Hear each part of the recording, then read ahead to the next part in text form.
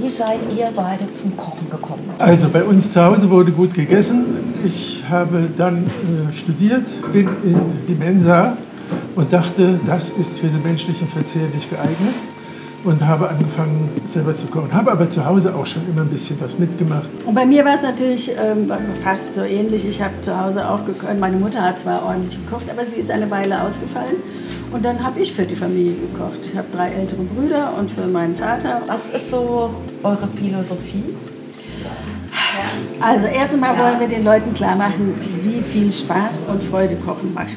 Dass das keine Frohn sein muss und keine Last, die jeden Tag äh, als Pflichtübung erledigt werden muss, sondern dass es ein Vergnügen ist. Was würdet ihr einem Einsteiger empfehlen? Ja, üben, üben, üben. Wenn jemand wirklich anfangen will zu kochen, dann gibt es eine Sache, die auf jeden Fall schon mal sehr praktisch ist. Das ist der chinesische Wok.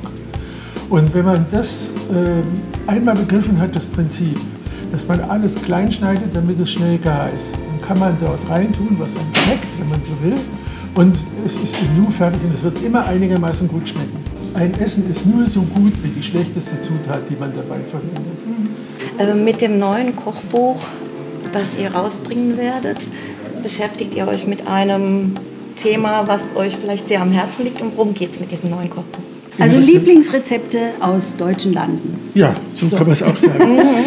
Und jetzt folgt ein zweites Buch noch und da haben wir dann die einzelnen Regionen von NRW. Ähm, das ist auch das erste Buch, was ihr zusammen mit ähm, den Werbeagenten ja. rausbringt in der Edition Essentials. Wie ja. kam es zu dieser Zusammenarbeit? Wie immer äh, spielen glückliche Zufälle eine Rolle. Wir haben Kontakt gekriegt über einen befreundeten Fotografen, der schon ganz viel und ganz oft äh, uns fotografiert hat, auch Titelbilder für unsere früheren Begleitbücher. Gott sei Dank haben die ähm, Essential Verleger gesagt, das ist eine gute Idee und da machen wir was miteinander.